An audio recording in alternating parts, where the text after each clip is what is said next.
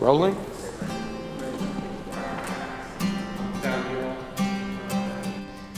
So Bright Fire came to me almost all at once. I was uh, reading and praying with Exodus 3. You know, this is the story of Moses and the burning bush.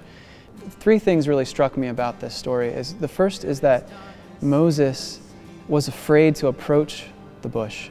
He was actually afraid to even look at the bush. And I noticed a similar uh, experience that I've had in my life when I focus so much on my own weakness that I have a great fear of, of looking at the sign of God at, at, and of, at, directly at God. And the second thing was that this is really God's moment of I love you to Moses. His response to Moses was one of great tenderness. I know you. I've seen your suffering. I've seen the suffering of my people. And, um, and the last thing, and this is really the, the inspiration for the music, I think, was that Moses in that moment was really revealed to himself.